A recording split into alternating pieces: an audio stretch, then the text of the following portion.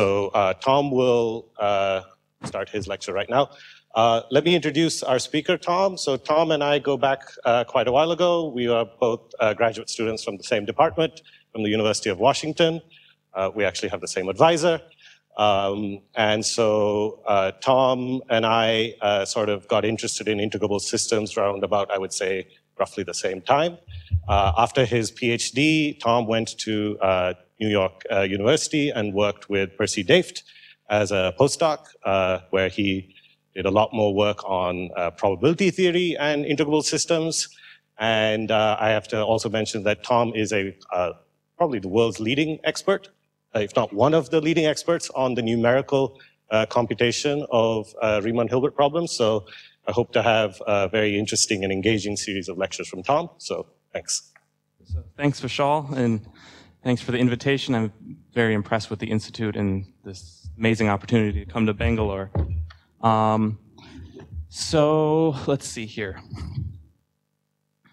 So I'll give you first an outline of the four lectures, um, and then, you know, so I know many in the audience may or may not be familiar with Riemann-Hilbert problems, so I'll try to motivate the a, a very simple or one of the simplest Riemann-Hilbert problems from just some special function theory. Um, okay. So.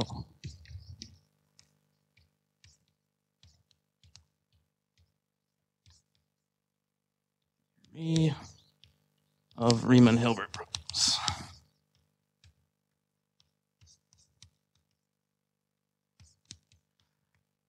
Okay. So my outline, which I'll first give you, is so the Today and probably part of tomorrow, I will be talking about Cauchy integrals and their computation.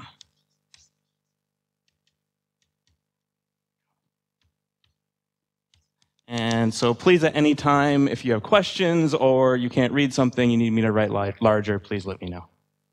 Um, so, right, so this is, you know, it's kind of a fundamental numerical complex analysis topic. It's a computation of singular integrals, and, you know, so what numerical methods can we come up with? But also to really do that right, we have to spend kind of quite a bit of time thinking about the theory of Cauchy integrals and curves and kind of treat that right. And then it'll make all of the future developments much easier. Okay. So then, so the second thing I will talk about is once I have the theory of Cauchy integrals in hand, I can define properly and discuss Riemann-Hilbert problems, or what I mean by Riemann-Hilbert problems.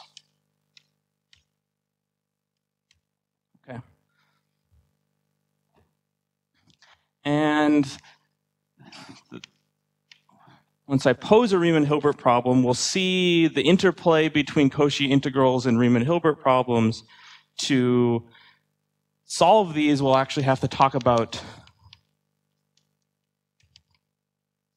discretizing operator equations. So what you'll see is so a Riemann-Hilbert problem, loosely speaking, is a boundary value problem in the complex plane. And so you have an analytic function that has some sort of a jump condition, so it's sectionally analytic, and it has a jump condition across some curve. And the, the point I want to get across, the biggest thing is Riemann-Hilbert problems lead in a natural way to singular integral equations. And I will pose my Riemann-Hilbert problems in such a way that they will always be equivalent to integral equations. So once I write down what a Riemann-Hilbert problem is, we'll see exactly how you go between the two. And so, yeah, these boundary, it's, it's really the analogous thing you would do in, say, for harmonic function theory, doing some sort of boundary integral. And then I'll spend some time talking about applications. And these will mainly consist of something that you'll see right away, which is special functions. Right. Um, we'll also talk about nonlinear special functions.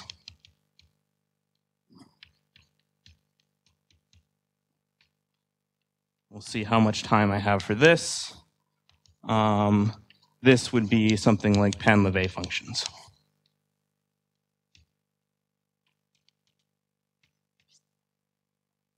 Okay, so this is something I probably won't emphasize too much, but it's certainly out there, and we can talk about it more in some of the discussion sections. And then, so I'll focus mainly on A and C, so this is integrable systems. Right, and so I should kind of point out that how this goes is, so your Cauchy integrals, this has wide applicability. And so Riemann-Hilbert problems use the theory of Cauchy integrals, and so they're somewhat less applicability, but still it extends far beyond these three topics, right? So like something like Wiener filtering theory, uh, uh, Wiener-Hopf problems fit into this category? And then this also has wide, I mean, the philosophy behind what I'll talk about here extends far beyond just Riemann-Hilbert problems, but we need the machinery to discuss everything.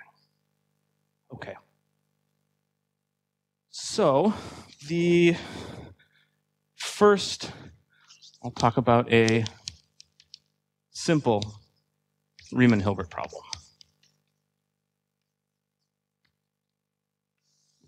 Okay, and this is me.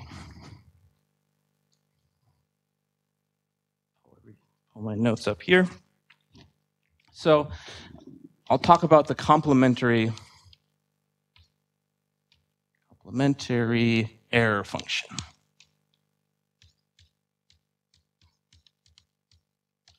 Okay, so what is this guy? So this is ERFC of Z, and it's defined as root 2 pi. We have an integral from z to plus infinity of e to the uh, minus s squared ds. Okay, and so what do I mean by this? Well, okay, if we're looking in our complex plane and here is z, I'll integrate in along the real axis. Of course, the path doesn't really matter, but just to be concrete about it, I'll integrate in and then integrate up to the point z. Okay. So the application I have in mind is I want to be able to compute this. I want to be able to compute this everywhere in the entire complex plane. Right. So our goal is compute, and we won't finish it. Uh, by the end of the lectures, we will, but not today. Z in all of C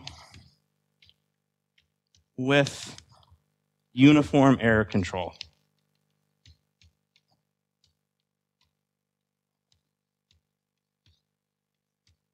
I want to be able to plug in any value of C and have really my relative error to be controlled. It'll be in all of Z, or all of C. Yeah. And that's the power of the Riemann-Hilbert theory. Right. Okay. So what I'll do today is pose a Riemann-Hilbert problem for the error function. And so to motivate why one might want to not, you have an explicit integral in front of you. What's wrong with this? What's wrong with this integral? Right, so I want to compute it for all possible values of z. So you can think about, well, okay, what if z is very high up on the imaginary axis? We're going to have some growth of this.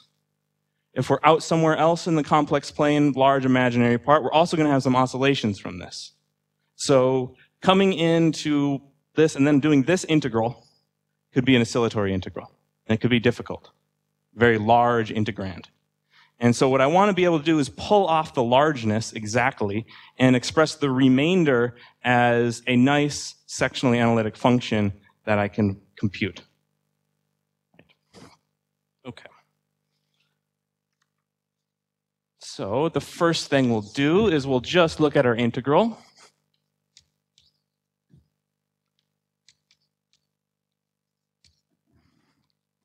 And let's, let's integrate it by parts. All right, so then what do I have? I write it as a 2s over s. I need some assumptions on what z is. Let's say the imaginary part, uh, not imaginary part, real part of z is positive, and we'll also assume that the modulus of z is bigger than 1. So really, I'm going to do integration by parts to understand the large z behavior. Okay, so I write this.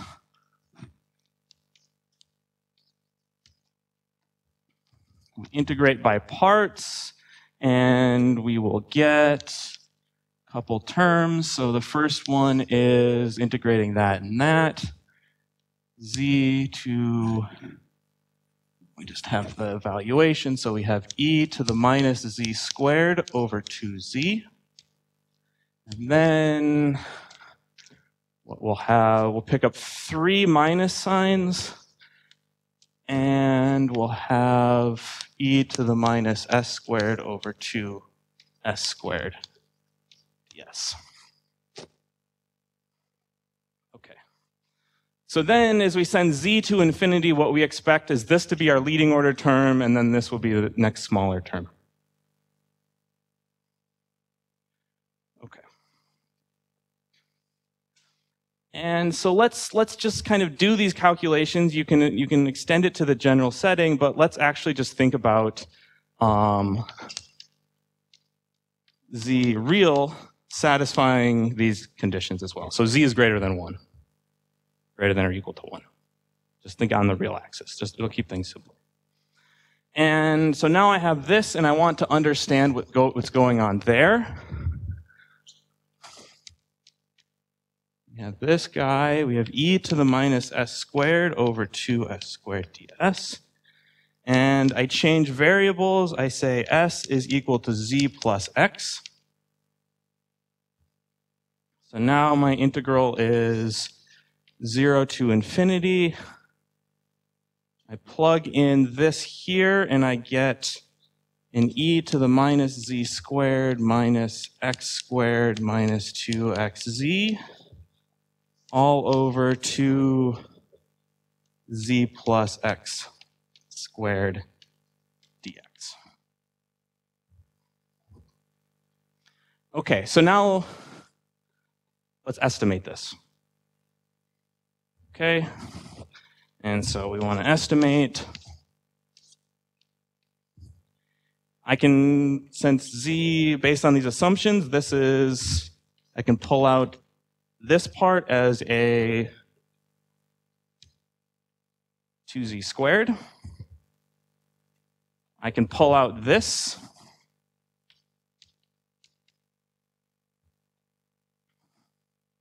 And then I'm left with this integral to the minus x squared minus 2xz Okay, but this is, this is even easier to bound because this product is positive, so I just throw away that term, I bound it by this, and I get a nice, I just do the, the half of the Gaussian integral, which gives me, I guess, e to the minus z squared over, right, so if I had an integral minus infinity to infinity, I would get a root pi, but I have half of that. So then I get over 4 root pi over z squared. Okay. Right, so all of this is basically a calculation to show ourselves that this is indeed a lower order term.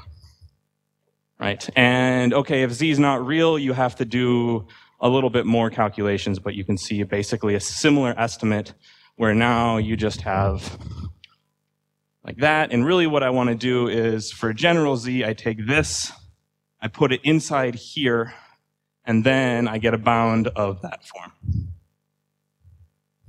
Okay? All right.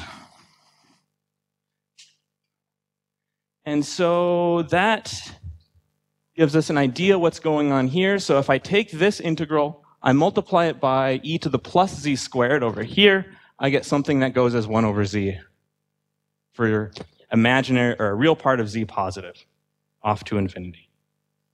Okay. Now we have to think about the real part of z, say, less than 0, what happens over there, and I actually no longer really want to consider this guy because as z goes to minus infinity, of course, this whole thing becomes root, uh, root pi. So let me just put up what you want to consider.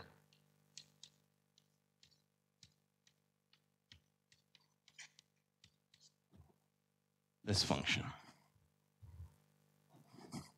Right? Because this guy here, as z goes to minus infinity, I get a root pi, it cancels that, and so this is my constant behavior as z goes to minus infinity.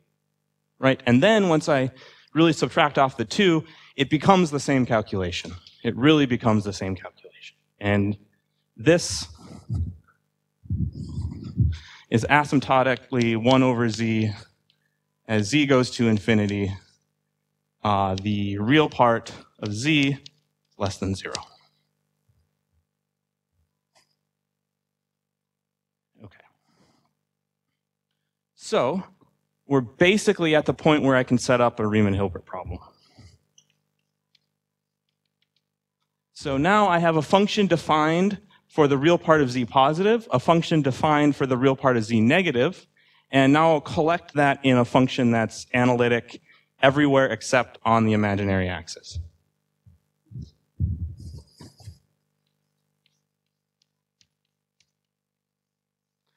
And it will turn out that it's convenient to write it this way. So minus e to the z squared error function. This is for the real part of z positive. Right? And that's a function which we know goes as 1 over z. And then the other one is this.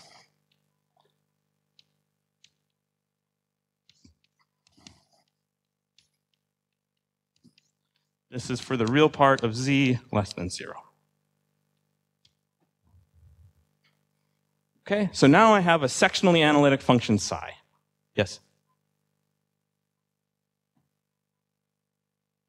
Right, yeah. So I used this fact just for, just to understand large z behavior.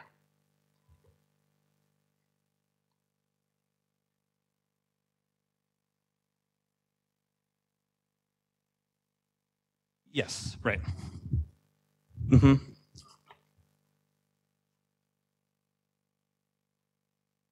Right.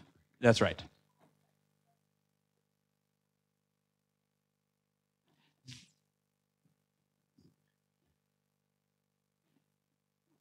Right, but these are continuous functions in that region, so they, they're bounded by some constant. Right. But really, this calculation is so I'm going to list a bunch of properties for psi, and this calculation is one of those important properties. Right? And so I don't, I already know what happens at z equals zero because everything's analytic. Okay, so let's see. These razors? Or okay. I'll use that. Right, so now what I'm going to do is basically use everything that, that we've listed and estimated to put down some properties of psi.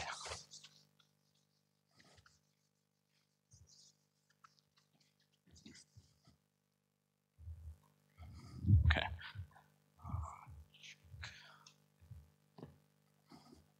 So properties of psi right? So first is psi is analytic. In C, take away the imaginary axis.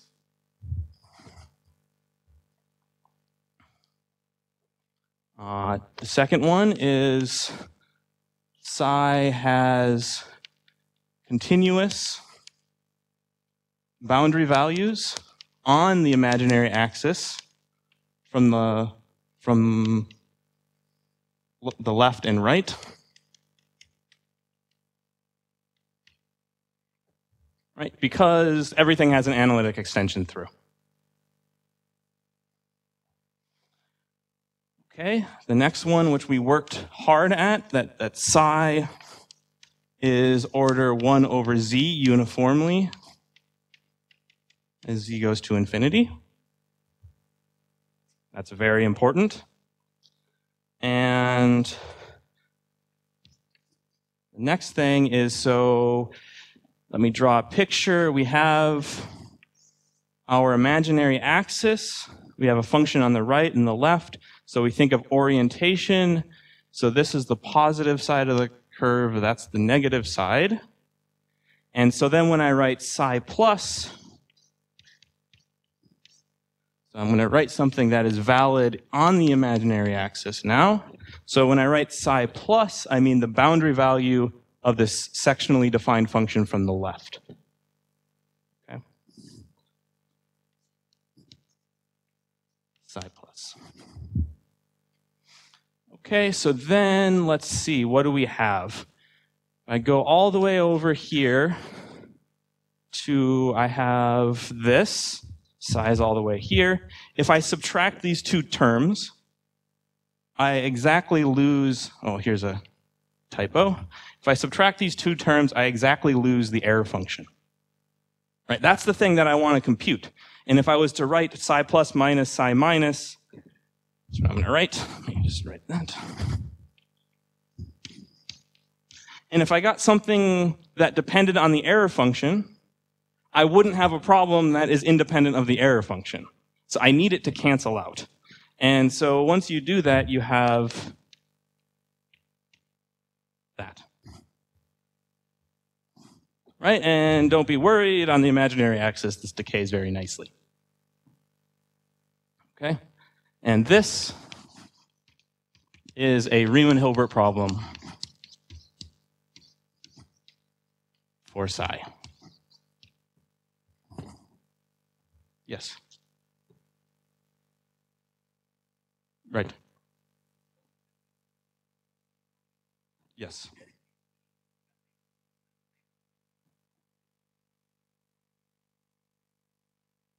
Let's see. So, I mean, if you chose it to be something else, like what, what were you choosing it as? Sorry.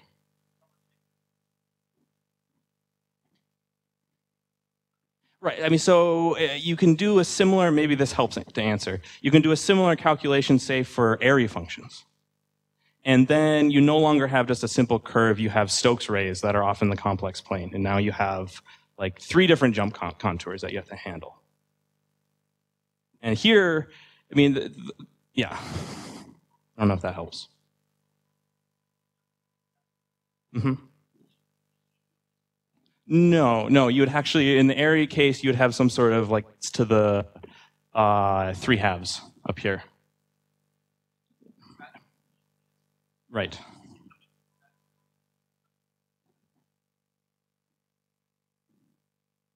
It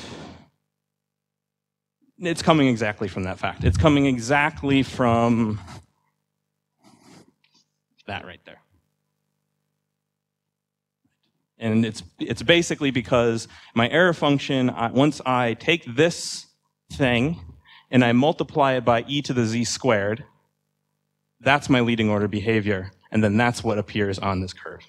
Right? So for for Airy functions, you have a different leading order behavior that has some fraction and fractional power in the exponent, and then that's what appears on the jump curve.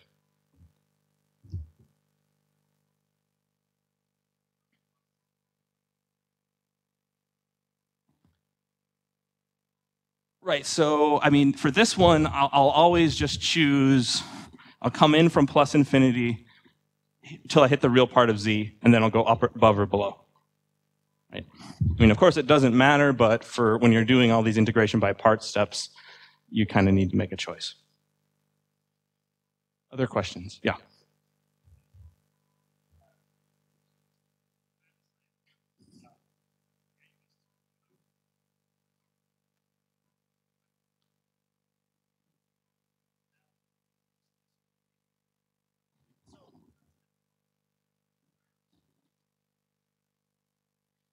Yes. So you, you try to take your special function that you don't know how to handle and you try to write it in terms of more elementary functions. And how you do that is by those, those element, more elementary functions appear on a jump condition.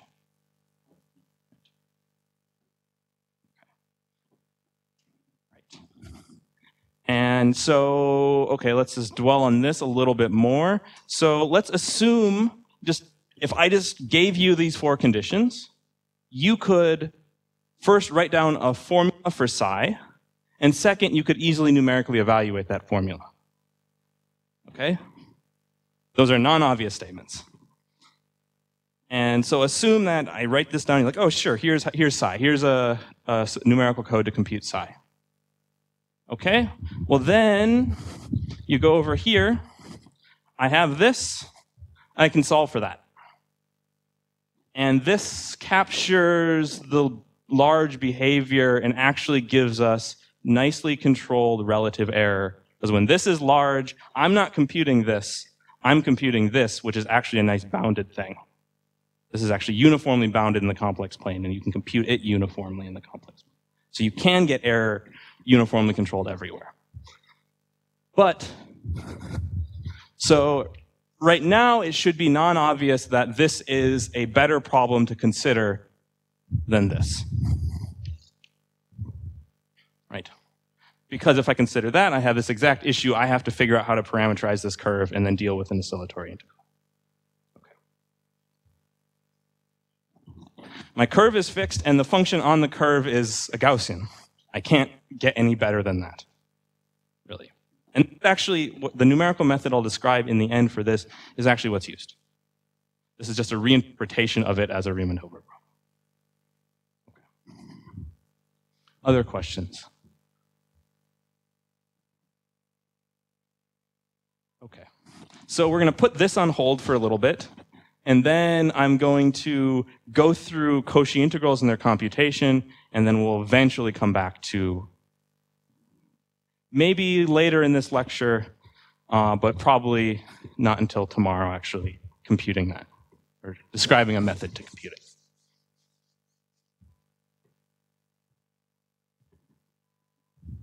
So the data is, so this condition is part of the data, and then this condition is the other. So we have a boundary condition, so to speak, an asymptotic condition, and then a jump condition. And then these two statements, or really this statement is a regularity statement, a statement in which sense the problem is solved. Right. Yeah. Right. So here it's actually, once I say this, it's fairly clear it has to be unique from these two. Right. So if I had another solution, so if I had another solution that satisfies all those properties, phi, then you define, uh, let's call it um, kappa, which is psi minus phi. That function you can check will, of course, still satisfy this, will still have continuous boundary values, and will actually satisfy a zero jump condition. And then Liouville's theorem tells you that that has to be identically zero. Right? So this is actually critical in the statement of the problem to have uniqueness. And I'll give you an example later on of where if you don't state this, you have non-uniqueness. So this is critical. Okay.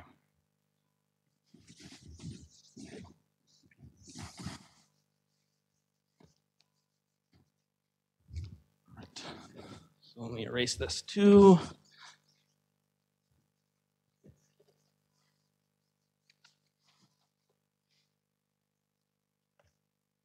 Okay, so now the main tool to actually solve this problem is going to be the Cauchy integral. And the solution actually turns out to be the Cauchy integral of this along the imaginary axis. But let's actually see why that's true. Right, so now, talk about Cauchy integrals. And arguably, the fundamental mental object of study complex analysis. This is really to fix notation. Analysis is the Cauchy integral, which I will use the notation C gamma of f, which is contour integral over a curve gamma, f of s, s minus z ds. And I like this d bar notation where d bar of s is equal to ds over 2 pi i. This simplifies things. And this, of course, we want to think z in c take away gamma. Yes? It, well, so it'll be finite for every finite z, right?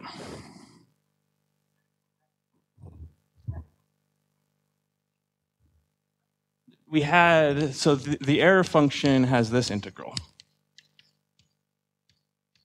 It has a, has a minus, uh, not z, this should be s.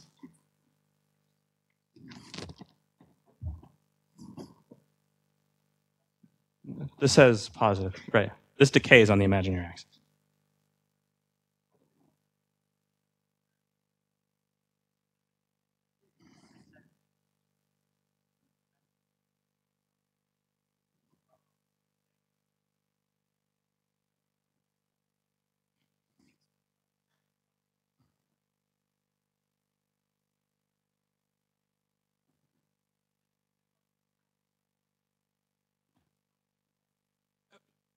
So maybe the better way is just to go back here and look at this and see that this is actually capturing everything.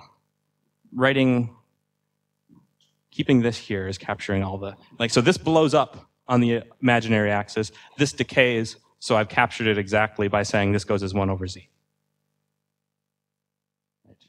And so that's the whole integration by parts calculation to see what your leading order term is. You have an exponential growth term and you exactly factor that off.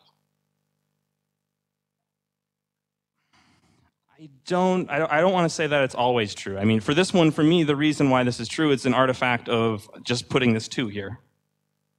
And I form a linear combination of the boundary values in such a way that I cancel out this. And that was my main goal in doing psi plus minus psi minus to cancel this term out.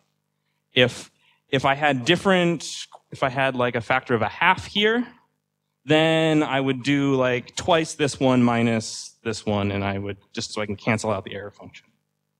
I mean, I don't think it's, I don't want to make any more general statement about.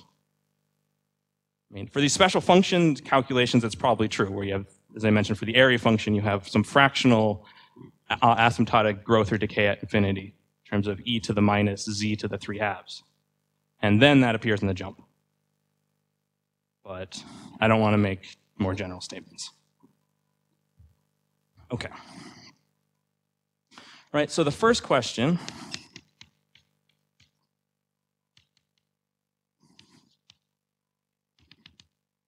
is just a simple question, simple quote unquote, about the existence of this when does this give us an analytic function off of gamma? Right.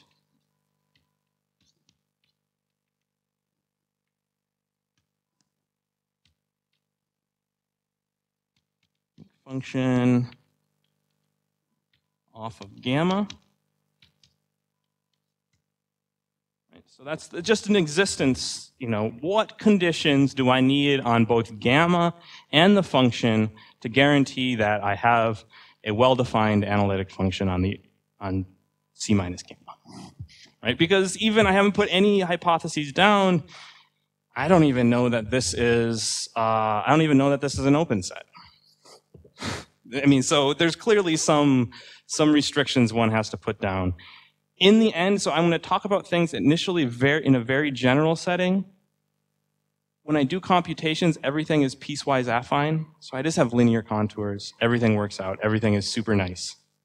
But uh, I think it's, you know, it, these are facts that when I was first looking at this material, I really wish were put in front of me.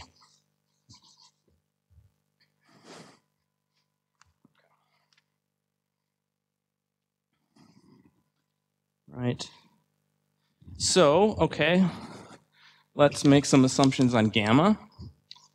Gamma, which will take I to not to R to C. Here, this guy, which I assume is continuous.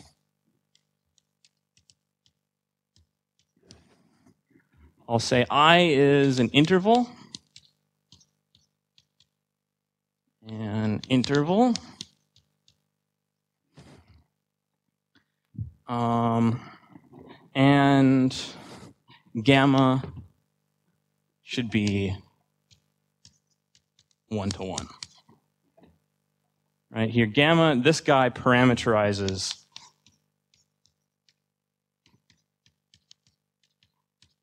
the contour gamma. And so I'll try to stick to the following kind of notation, uh, just really language, that an arc is a is this. That's an arc. A, a curve is closed. Just kind of in, in, the sense of, you know, Jordan curve theorem, I just like to use curve. Then. All right, so then it bends back on itself. So, okay, it's not one to one. Um, okay, if I is some closed interval, then it's not one to one at the endpoint. So you re, re, put in that condition at for a curve, and then a contour is a finite union of curves and arcs.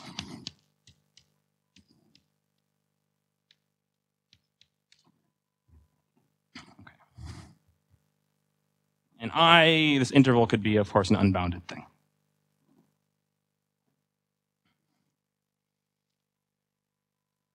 Okay, so the first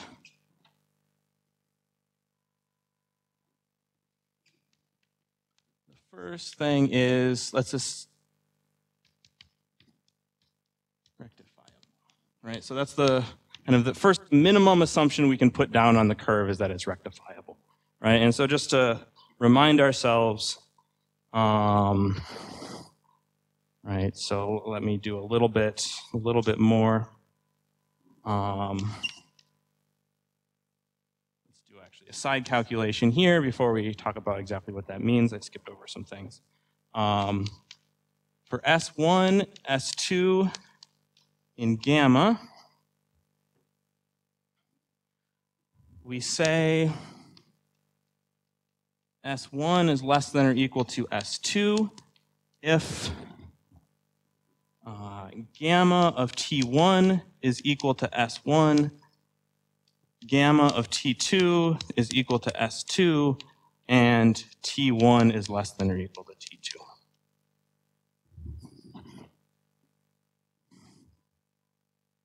Okay.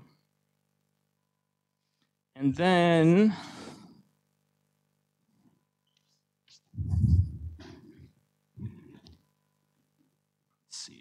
here.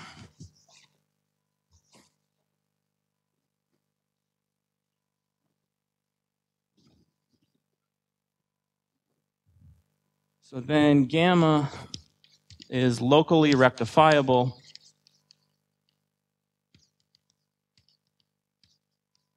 if for S1 less than or equal to S2, S1, S2 in gamma, the supremum over all partitions. Uh,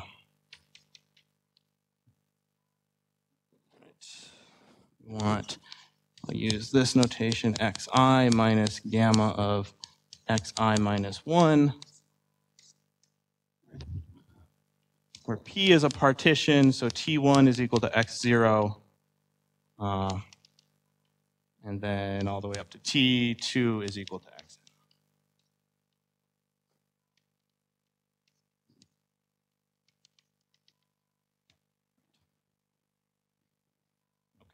Right? So it's locally rectifiable if I just take any subarc, and that's rectifiable. Right? Okay. And then, so this, of course, induces a natural arc length measure theory for the curve. And when you do your usual contour integral, you have your ds. And then out of this, this guy will be the arc length measure. Right. That's what I'll use for absolute value of which can be understood as a vari- as a total variation of something. Okay. So then what's our first fact about Cauchy integrals? Grab my eraser.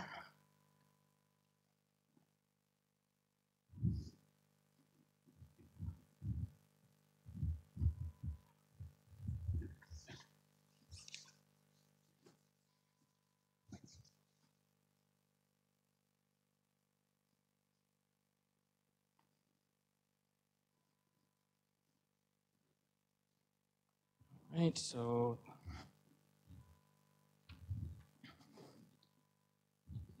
here's a fact. So if gamma is closed, and in this case I mean as a set, let's say it's locally rectifiable.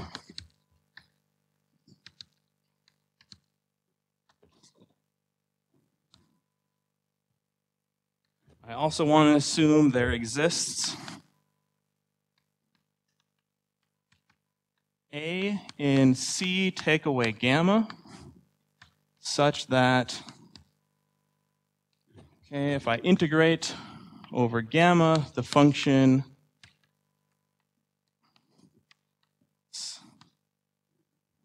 finite. So this is basically a condition on the behavior of the contour at infinity.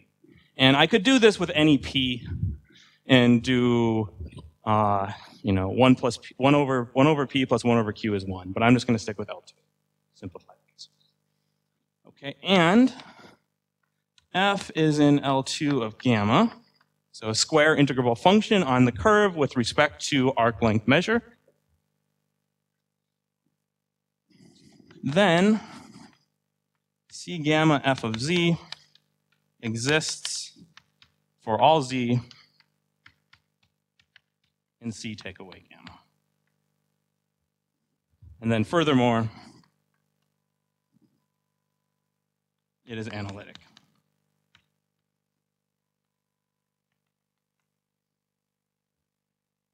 Right? And so how you do that is, okay, so you have your Cauchy integral, and then you use really Cauchy-Schwarz on the integrand, and then for a general z, you have to use this to basically look at s, s minus z over s minus a mod squared, which is a bounded function on the curve. And so you can change between any a and any z using that relationship. Okay, so I mean, this is all a bit esoteric because everything in the end is going to be a piecewise smooth curve, right?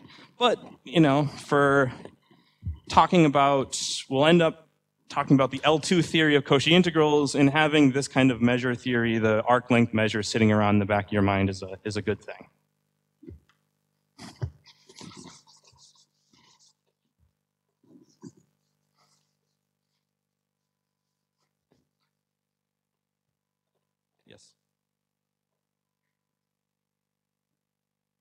Yes. Right.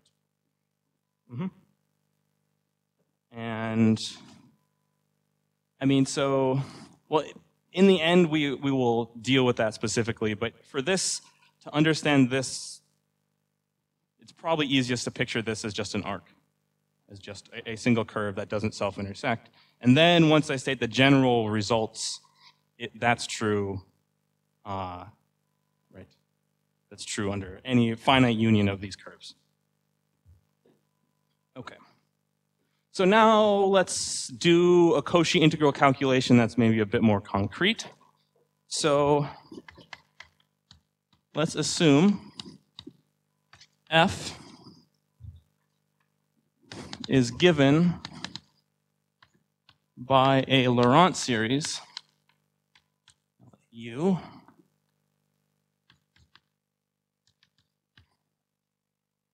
in an open an open annulus A. All right, so picture is we have, say this is the origin. I have my annulus A and have function f is given by our Laurent series, sum over all n, a n, z to the n. And this converges in this open. And so let's maybe be a little bit more clear.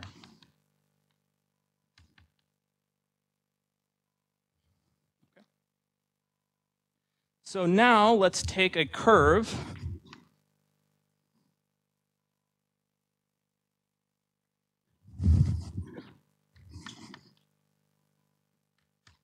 let's say take a curve gamma which is a lies inside A and let's compute the Cauchy integral of f along that curve.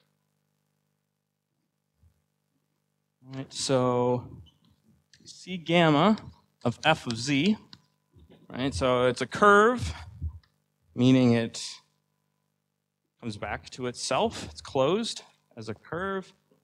And, right, so what is this?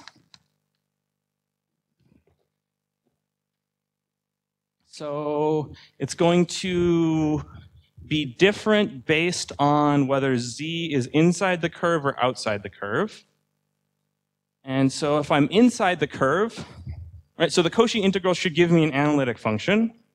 And so if I'm going to get an analytic function inside the curve, I better not have any of my negative powers of z. Right? Or you can use a residue theory.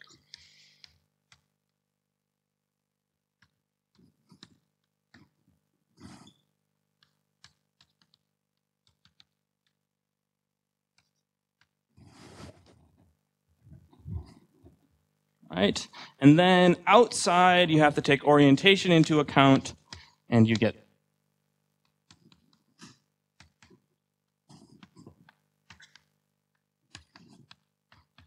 outside Z, outside gamma. Okay. Okay, so now you've naturally defined a sectionally analytic function. So I have this, and suddenly this actually even though my function initially only was analytic inside this annulus, I took the Cauchy integral of it, and then if I evaluate outside gamma, I get this analytic function. I evaluate inside gamma, I get this analytic function. Okay? So this is naturally how Cauchy integrals give you sectionally analytic functions, where they have some sort of behavior that's non-analytic across the contour of integration, but they're nicely behaved outside, away from the contour. Okay, so there's another fact that is kind of fairly clear because of our assumptions on this being a Laurent series. So if I take S in the curve, or in gamma, and I define C plus gamma. This is the limit as z goes to s, infinity as z goes to s, z staying inside. And I guess there's one thing that I should be doing that does affect everything, is make sure we have the orientation correct. Otherwise, everything would swap. Okay. All right, so if I define this to be the limit from the inside because we have a natural plus and minus from the induced orientation, so I can define this guy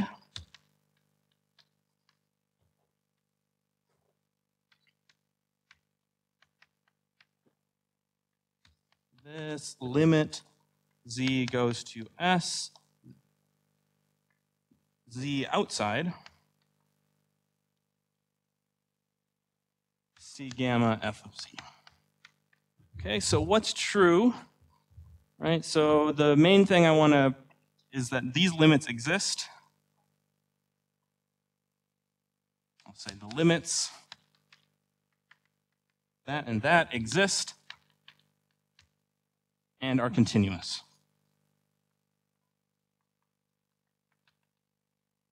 Right? And continuous as functions of s on the curve. Right? So why do they exist? Well, it really just, I mean, there's a couple ways to think about it. It really just comes from Taylor series arguments. If the series converges, then it has to be continuous inside the domain on which it converges. Well, it's much more than that, it's analytic. Okay.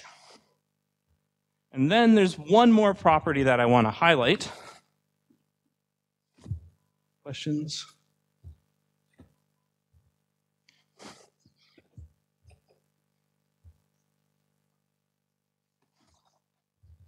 Right, so then I want to consider C gamma plus f of s minus C gamma minus f of s. Right.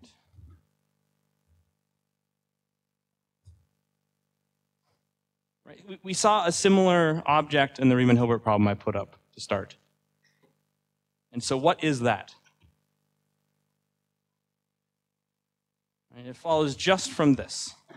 So I take, so my boundary value on the plus side is equal to this with z replaced with s. My boundary value on the minus side is equal to this with z replaced with s. So I take that minus that and I get just f of s.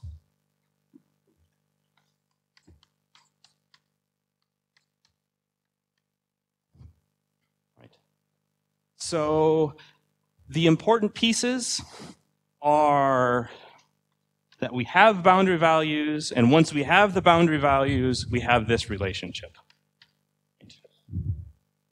And so if I want to construct a sectionally, I mean, this, there's a lot of assumptions here that we need to remove.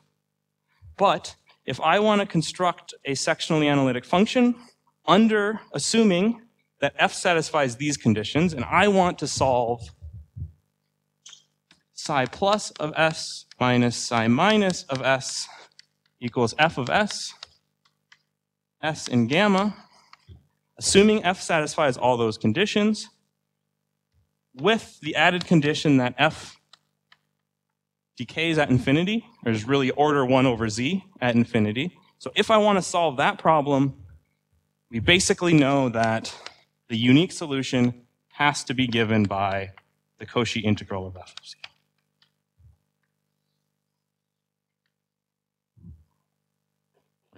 assuming f satisfies all these additional, prop, additional conditions, which we will now start to peel away. Right. And so this is also, depending on who you ask, it might go under different names, but this is a common name that people use, Plemelj's lemma. And it extends in great generality, not just to this nice, nice situation.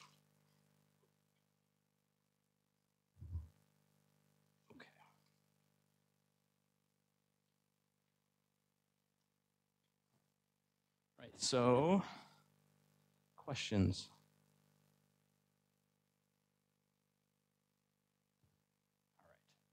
So my next task is to do exactly what I just said and start to relax the assumptions from this situation because that's certainly not general enough. I'm losing my eraser.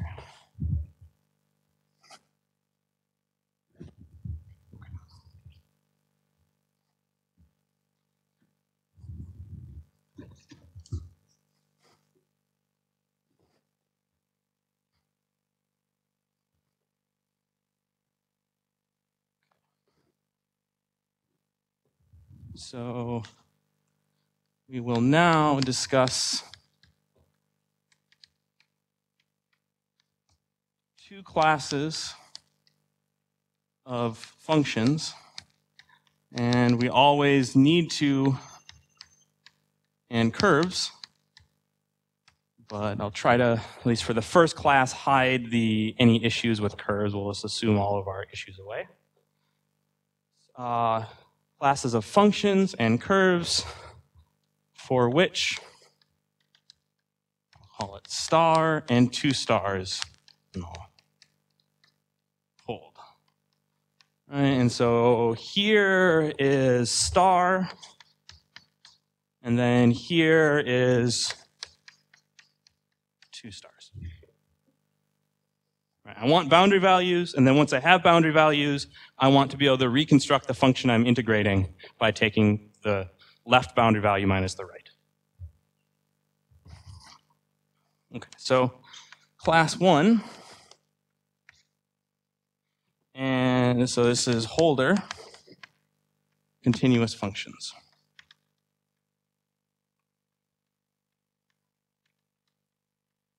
And first note is this, the usual reference is this, Muskhelishvili.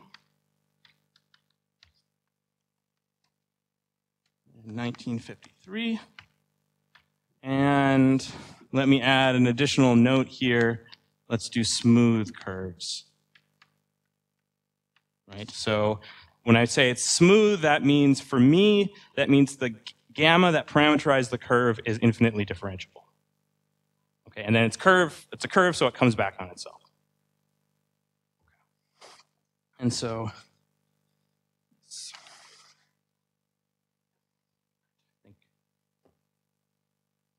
Okay, and so let's first remind ourselves what Holder continuity is, and then I'll just give you uh, the actual, uh, like a heuristic calculation as to why it's true. So let gamma be a bounded, bounded smooth curve.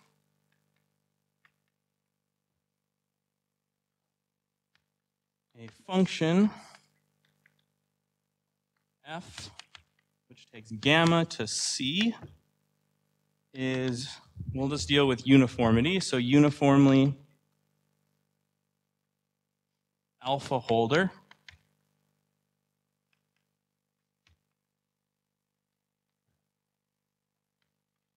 if, so this will be a semi-norm, this thing right here, which is you take the supremum of all S1, S2 in gamma, making sure that S1 is not equal to S2.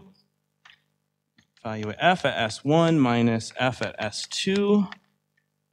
This over S1 minus S2 to the alpha, this should be finite. Right.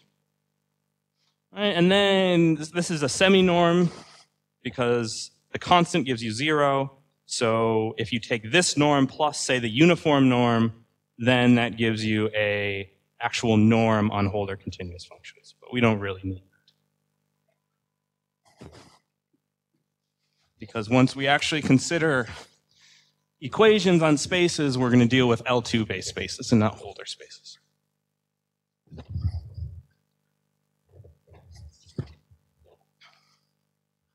Okay, so here is stated as a fact for Holder continuous functions on smooth curves.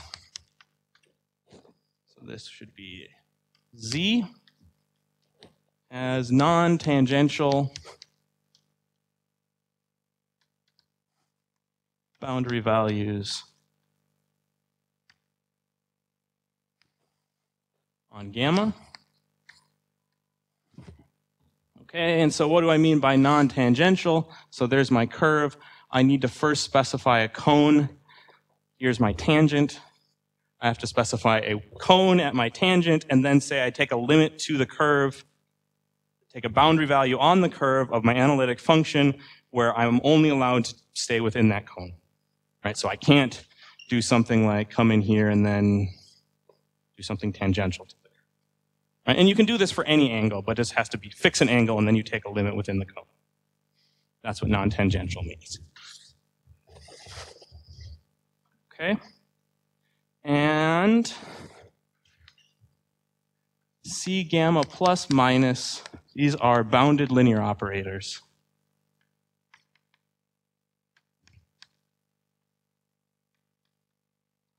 on the space of Holder continuous functions. Of alpha Holder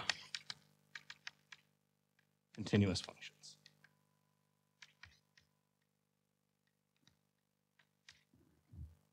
Okay. And so that's the main fact, and I'll end my lecture today with just giving you a heuristic reason as to why it's true. So the big thing is um, right, and then this, this, and two stars. Mm, so here, this is basically one star, kind of written in a different way, and then there's two stars. Okay. So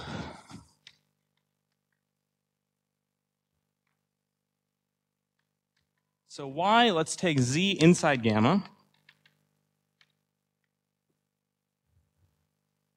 And consider the Cauchy integral.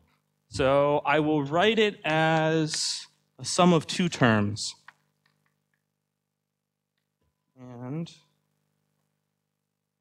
I'll integrate with respect to an s prime variable so that I can talk about a point s on the curve.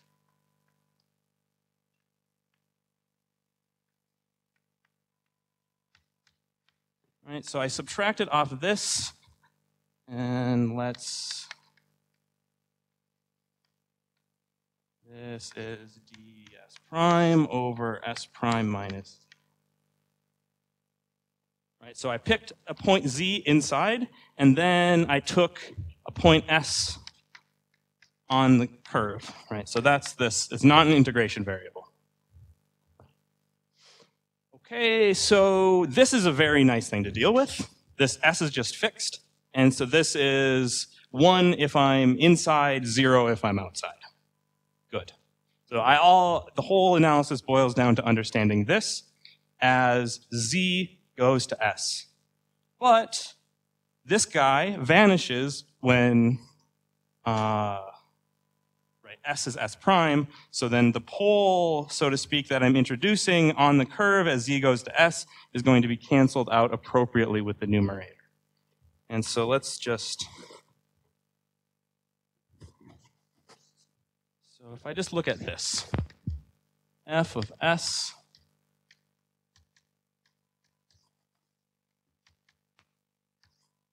right? thinking about, I, did, I took the limit as z went to s. Let's first do a calculation. Well, this, this is less than some constant. The constant is coming from this. So maybe I'll put that in. Let's just say it's the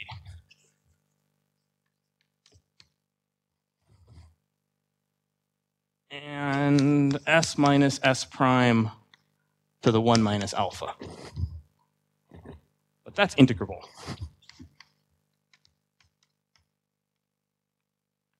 Right, just because I have this alpha, and maybe I should have been a little bit more careful for this, you really want to take that. Right, so that's integrable. And what that actually means is this is effectively a continuous function at z equals s. So I can take the limit of this function from the inside and the outside at z equals s, and I get the same thing. Okay? So then the claim is that it still has to be checked, but that this is equal to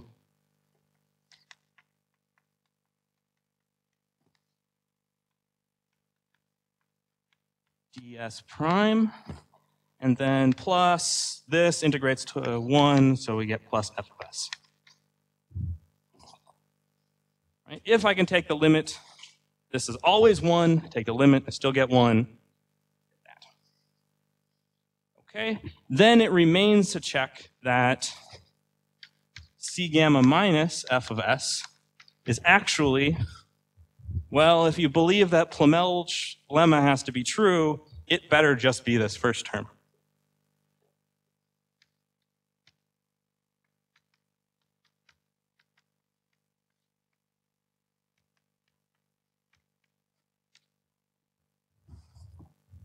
Right? So then when I take C plus minus C minus, I just get F.